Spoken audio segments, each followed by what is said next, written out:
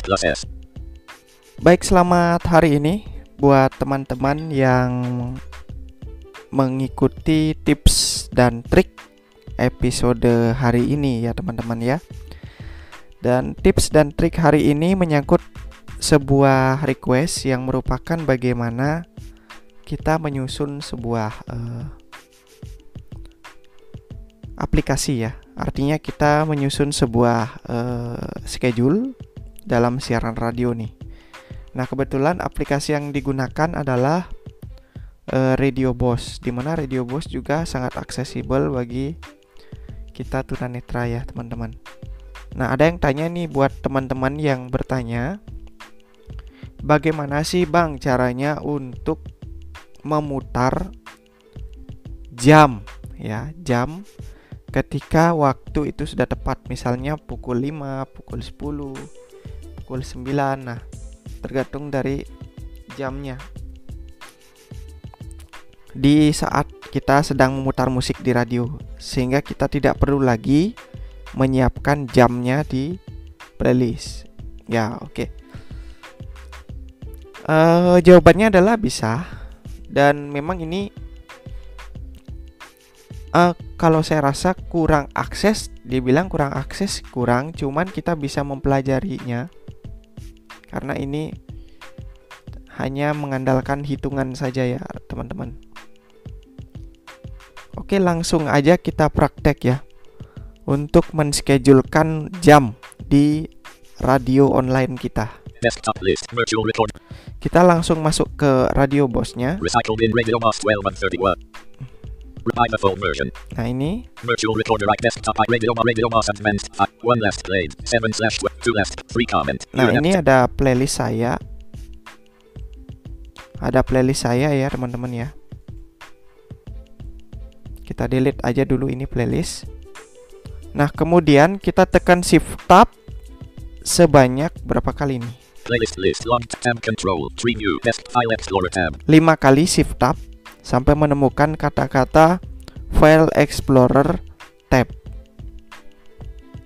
Oke Kemudian kita geser ke kanan sampai menemukan scheduler Search tab. Scheduler tab. Nah, ini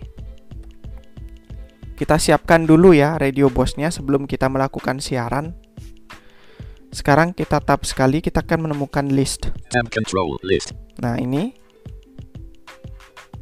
ini kebetulan schedule saya tadi kemarin udah terputar jadi udah di delete sama radio bos. Nah, sekarang kita klik add tap sekali. Add. Nah, ini teman-teman klik spasi atau tekan enter. Rest event. Combo box collapsed. Edit blank. Nah, event combo box combo box eventnya ini ngapain? Eventnya adalah play ya teman-teman. Pasti play karena kita kan muter jam. Kita panah bawah. Play. Play selected. Nah, udah jadi play. Jadi sekarang kita pan tap sebanyak tiga kali. Button. Button. Button. Nah, button yang ketiga ini adalah browse file. Jadi mau play apa? Gitu ya. Kita spasi. Red event actions list. Eh sorry, Event button. Eh, kita tap tabnya dua kali ya. Sorry kelewatan. Dari nah dari play ini kita tapnya dua kali. Tombol tab tekan tab dua kali. Nah sudah kita tekan spasi.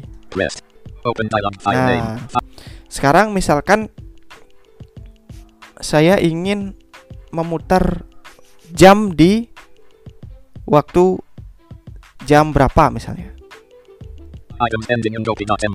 Nah, saya saya backspace dulu di file list view ini. Terserah teman-teman simpannya di mana gitu. Items view list. Jingle ukulele 2 of 10. Nah, sekarang cari Open dialog file name. Network computer row 3 column. Cari di mana? view li- local disk D. Row 2 column. Items view list. Dollar recycle.bin not select. mencarinya seperti biasa ya di di open kemudian ya mungkin teman-teman tahu cara mencari foldernya. Itlan DHS.mp. Itlan.wma26 of 7 7 10 and cap time 20 of Nah, 36. time ini adalah jam saya.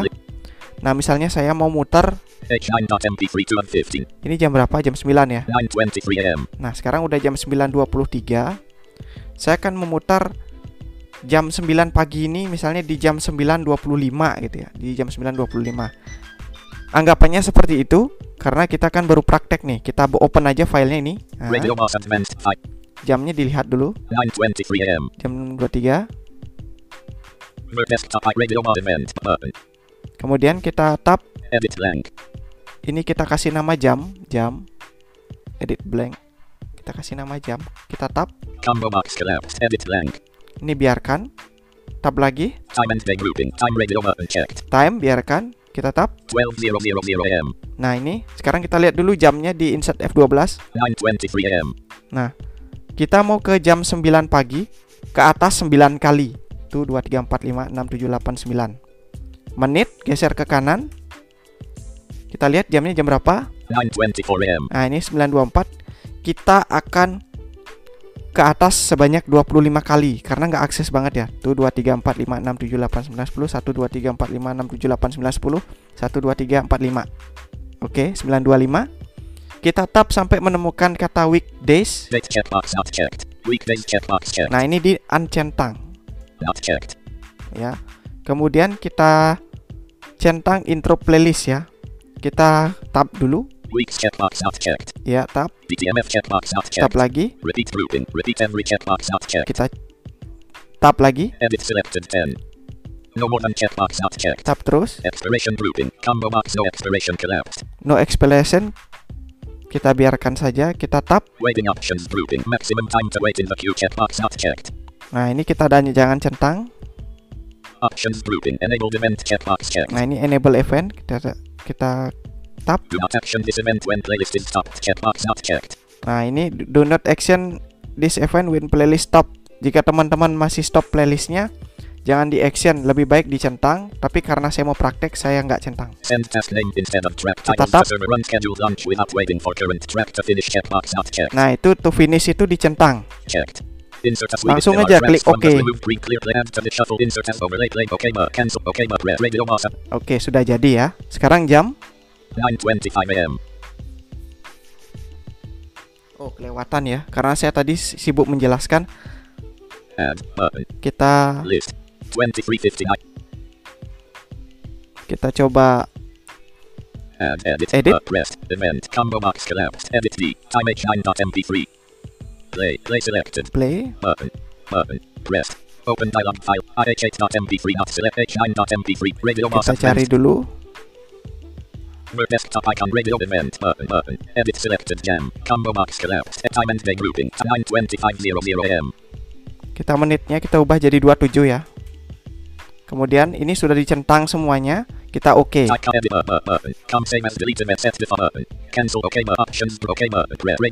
Nah, ini udah jam. 9:26 am Kita tunggu satu menit lagi, maka jamnya akan bunyi, guys.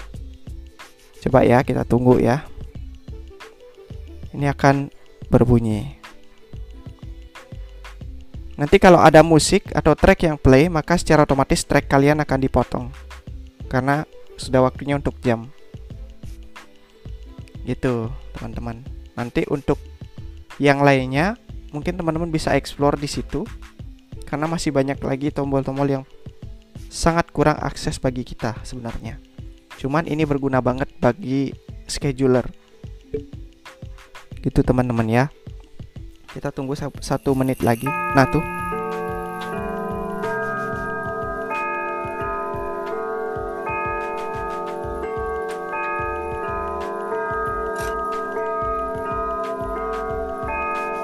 Waktu menunjukkan pukul 9 waktu NL Radio.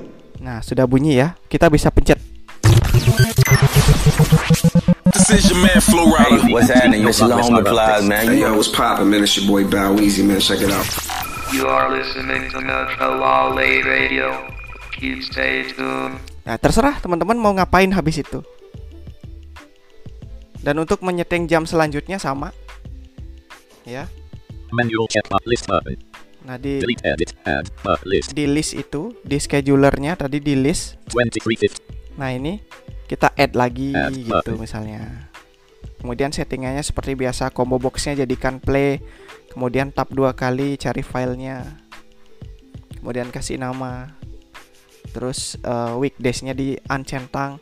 kemudian af- after track finishnya dipotong itu dicentang udah tinggal itu aja teman-teman nah ini List Ini saya 2358 delete ya. master. karena ini untuk praktek aja. Nah, setelah teman-teman men-setting eh, apa namanya itu? Setelah teman-teman men-setting eh, schedulernya jangan lupa di shift tab, Scheduler tab. kembalikan ke file browser, browser di kiri. Nah, kemudian teman-teman akan mendapati playlistnya seperti tadi, lagu-lagu yang akan teman-teman putar. Gitu. Mudah-mudahan bisa membantu ya teman-teman untuk penjelasan eh, membuat schedule pemutaran jam di Radio Bos dan harapannya bisa membuat teman-teman tahu bagaimana cara mengatur jadwal pemutaran di Radio Bos. Kita tutup dulu. Oke. Oke teman-teman, mudah-mudahan tips dan trik di Dede Satria Ajus kali ini bisa berfungsi dengan baik dan pastinya tipsnya berguna banget bagi penyiar-penyiar online. Sekian tips and trik yang dipersembahkan oleh Bali Blend Podcast. Selamat hari ini, sampai jumpa besok di tips and trik berikutnya. Terima kasih telah mendengarkan tips and trik podcast dari Bali Blend Podcast.